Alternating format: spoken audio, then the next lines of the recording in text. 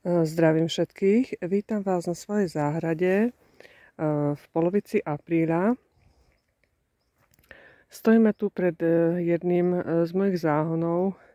Na prvý pohľad je to pomerne zarastený záhon, ale v podstate na tom záhone mi tu ostala mrkva z minulého roku, ktorú som siala niekedy v lete. A ešte stále ju priebežne zbieram.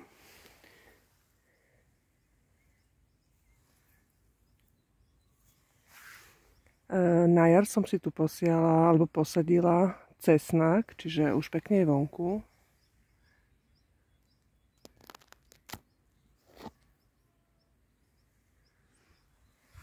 Je tam v podstate jeden riadok cesnaku z vrchu a ďalej som tu e, sadila šalotku, tiež e, teraz z jary. A takisto aj šalotka už mi vychádza.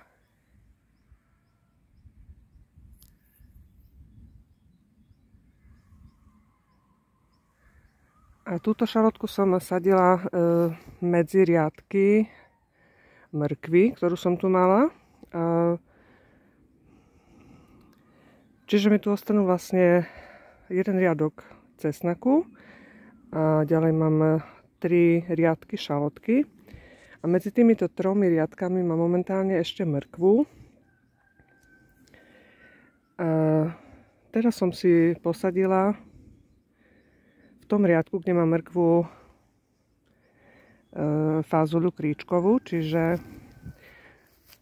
urobila som to tak, že e, z časti riadku som si vybrala mrkvu, dala som si tú fazulku, takže mrkva mi ostáva.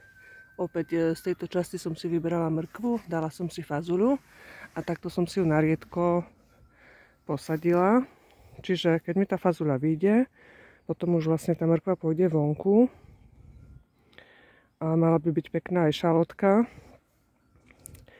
Ďalej mám tu ešte riadok e, cibulky, ktorú mám presadenú. Čiže takisto som si siala niekedy minulý rok v lete zo semien cibulku. A teraz na jar som takéto sadeničky presadila. Čiže pekne sa ujala.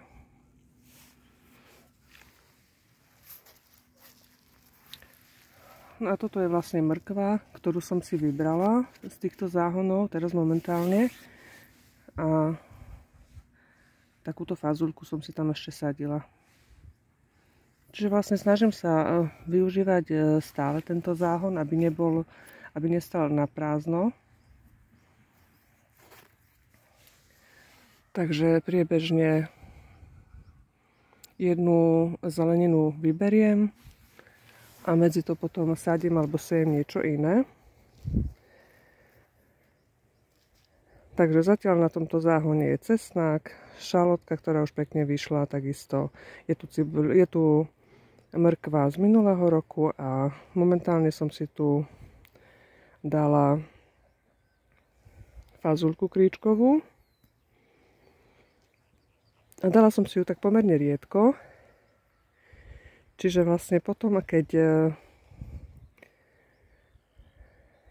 mi vyrastú priesady, ktoré mám ešte v skleníku, priesady šalatu, tak ešte pomedzi tie kôpky fazulky by som si chcela dať jednu, dva rastlinky e, šalátu.